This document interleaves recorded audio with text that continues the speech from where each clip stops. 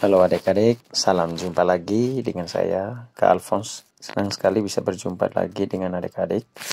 Dan materi baru yang kita akan bahas, materi unit 5 kelas 1 tentang I have four books.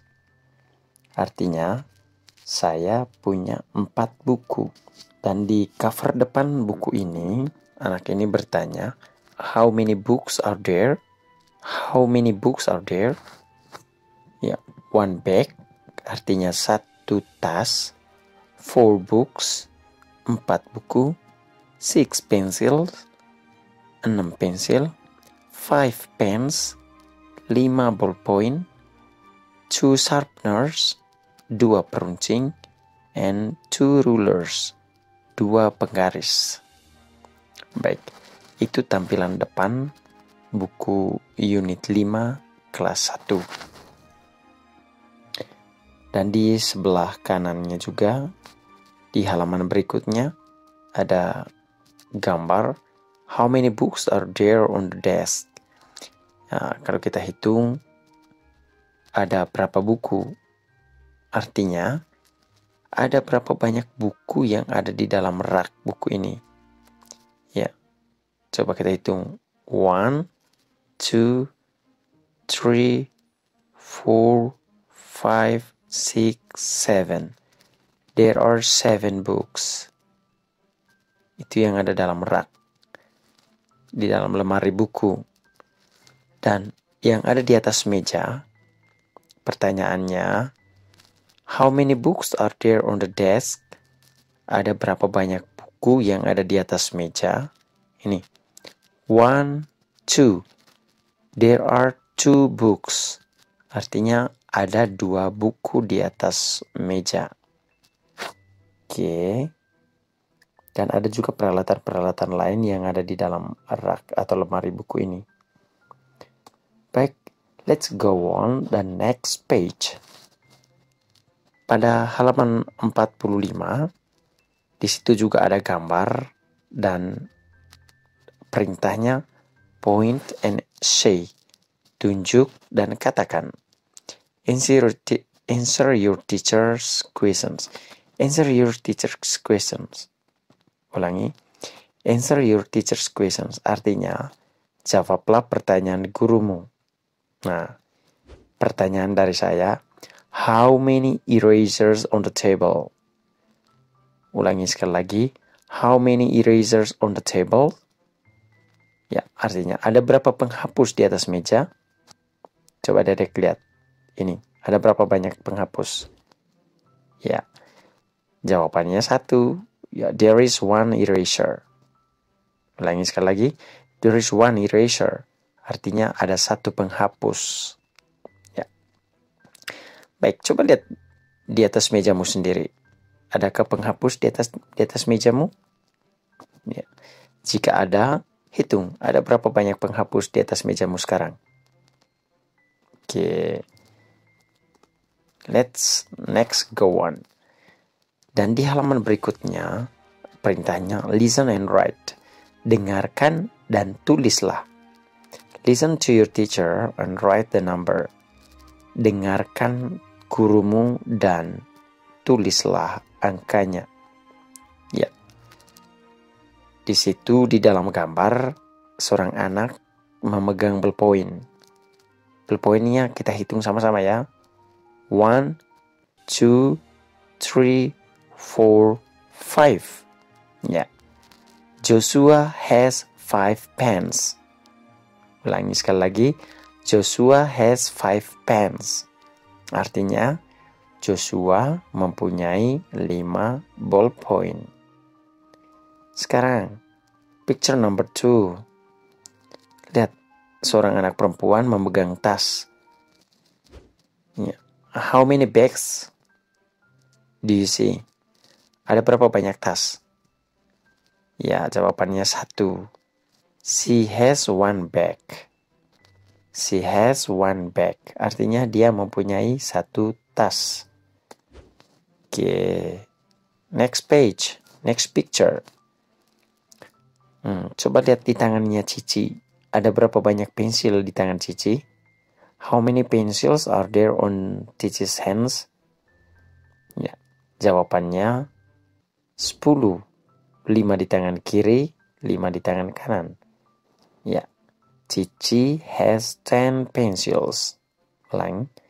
Cici has 10 pencils. Artinya, Cici mempunyai 10 pensil. Ya. Sekarang, gambar berikutnya. Uh, Aisyah. Aisyah membawa buku. Ada berapa buku yang ada dalam ada berapa buku di tangannya Aisyah? Coba kita hitung. One, two, three, four. Ya, she has four books. Langi, she has four books. Artinya dia mempunyai empat buah buku. Oke, okay, next picture. Ya, coba lihat di tangannya Aisyah. Ada dua, ada berapa peruncing atau rautan? Ya, ada dua. One, two. Ya. Aisyah has two sharpeners. Ulangi. Aisyah has two sharpeners. Artinya, artinya Aisyah mempunyai dua rautan. Ya. Sekarang gambar berikutnya seorang anak laki-laki memegang bal ballpoint. Ada berapa banyak ballpoint yang ada dalam tangannya? Ya, ada tiga. One, two, three. He has three pens. Ulangi, he has three pens. Artinya, dia mempunyai tiga ballpoint. Lanjut. Di halaman berikutnya, adik-adik diminta untuk mendengarkan sebuah cerita dari gurumu. Listen to your teacher telling a story about Made. Yeah, this is Made, and this is there are some things, some books on the table. Ya, saya sudah membuat cerita sesingkat mungkin uh, berkaitan dengan barang-barang yang dimiliki oleh Made di atas meja. Made is the first grade student. He has one bag, three books, five pencils, two erasers, one sharpener, and one pencil case. Ya. Kalau kita lihat, kalau diterjemahkan seperti ini. Made adalah siswa kelas 1. Dia mempunyai satu tas, tiga buku, lima pensil, dua penghapus, satu rautan, dan satu kotak pensil. Ya, itu cerita singkat dari saya. Silakan adik-adik juga bisa tambahkan cerita tentang Made atau cerita tentang temanmu sendiri. Oke, okay. and next page. Ya. Adik-adik diminta untuk melakukan sebuah survei singkat dan melihat benda-benda yang ada di sekitar kelasmu. Ya, dan gambarkan objeknya atau bendanya. Oke. Okay? This is example number one. Ya. Kamu melihat dua objek yang namanya penghapus. Anda bisa tulis two erasers two erasers. Atau kamu bisa juga lihat ada buku. Coba hitung bukunya. Misalnya bukunya ada 10. Tulis di sini 10. 10 lalu gambarkan bukunya di sini. Oke, berarti kalau dalam bahasa Inggrisnya 10 books. Terus kamu melihat lagi ada 3 ballpoint tulis di sini tiga dan gambarkan ballpointnya di sini. Oke, kalau dalam bahasa Inggrisnya three pens. Hmm. Oke, itu lakukan survei dan seterusnya. Dan di halaman berikutnya, adik-adik diminta untuk melihat dan menulis. di dalam buku sudah ditulis, ada gambarnya, objeknya, ada berupa kursi. Ya. Dan jumlahnya ada berapa? Coba kita hitung sama-sama. One, two, three, four, five. Ya. There are five chairs. Five chairs. Chairs, chairs artinya kursi. Next, gambar berikutnya What is it? Ya, it is pencil. Ini adalah pensil. Coba kita hitung sama-sama. One, two, three, four, five, six, seven. Ya, there are seven pencils. Oke, artinya ada tujuh pensil. And next object. Ini, what is it? Yeah, it is eraser. How many eraser? Two. Yes, you are right. There are two erasers. Coba kita hitung sama-sama. One, two. Yeah, there are two erasers. Next object. What is it? Yeah, it is ruler. How many rulers? One. One ruler. Hanya ada satu mister one ruler. Tidak perlu S ya, karena hanya satu saja. Ruler. Next object. What is it? Ya, it is table. Kita hitung sama-sama ya. One, two, three, four, five, six, seven, eight, nine, ten. Ten.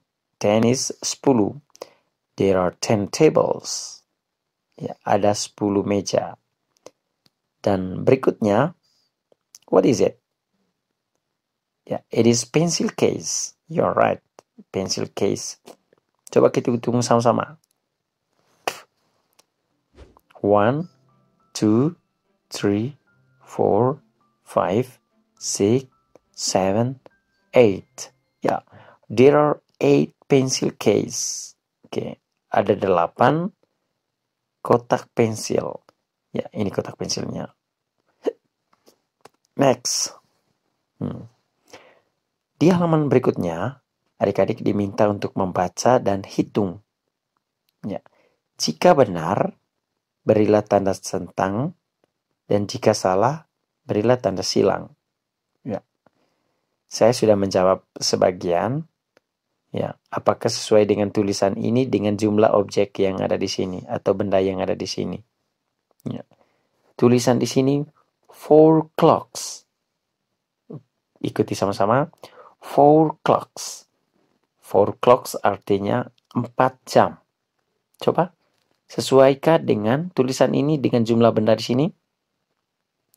One, two, three, four, five. Hmm, there are five. Berarti tanda silang. Ya. Sebenarnya di sini harus five. Five clocks. Oke. Okay. Next picture. Ya, five books. Tulisannya five books. Artinya lima buku. Apakah sesuai dengan jumlah benda yang ada di sini? Oh, tidak.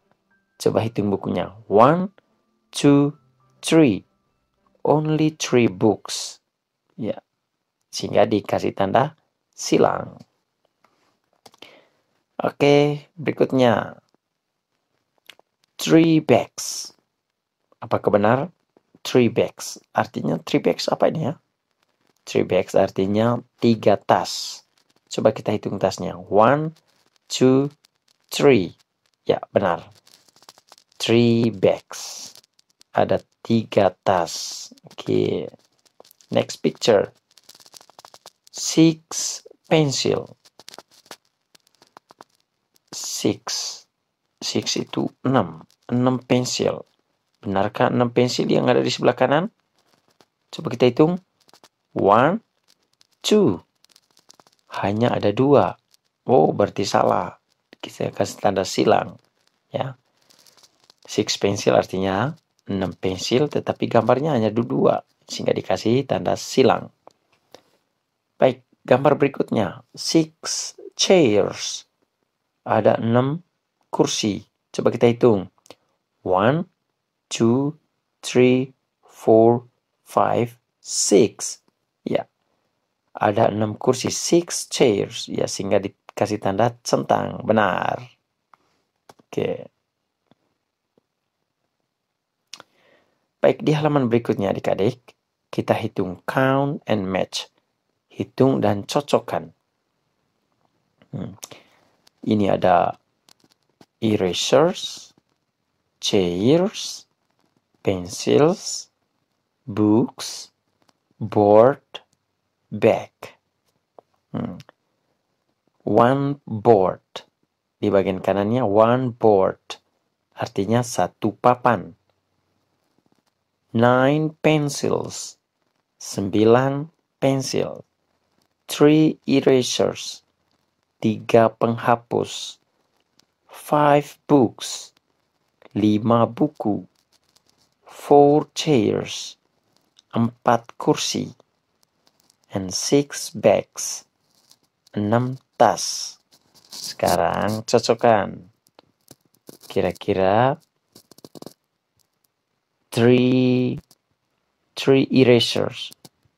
Itu tarik garisnya ke mana mana? Erasersnya ya ini tinggal tarik garis ya. Three erasers tarik garis ke sini. Sekarang kursi satu kita kita hitungnya one two three four four chairs di mana four chairs Ya ini. Di bawah ini. Tarik garis ke sini. Four chairs. Oke. Sekarang kita hitung pensilnya. One, two, three, four, five, six, seven, eight, nine. Nine pencils. Di mana nine pencilsnya? Ya ini. Tarik garisnya ke sini. Nine pencils. Sekarang buku. One, two, three, four, five. Five books. Mana five books? Ya, ini. Tarik garis ke sini, ke sini. Oke. Apa ini? What is it? Ya, it is board. Ada berapa? Satu. One board. Mana one board? Ya, ini one board. Satu papan tulis. Dan yang terakhir, Ya, this is bag. Bag. Kita hitung ada berapa bag. One, two, three, four, five, six. Six bags. Ya, mana six bags? Ya, ini sudah digaris oleh Palfons. Oke. Itu halaman berikutnya kita lanjut. Ya, ini ada lagu yang terakhir. Lagu Baba Black Sheep. Ya, kalau tahu adik-adik tahu lagu Baba Black Sheep Baba Black Sheep, have you any wolves?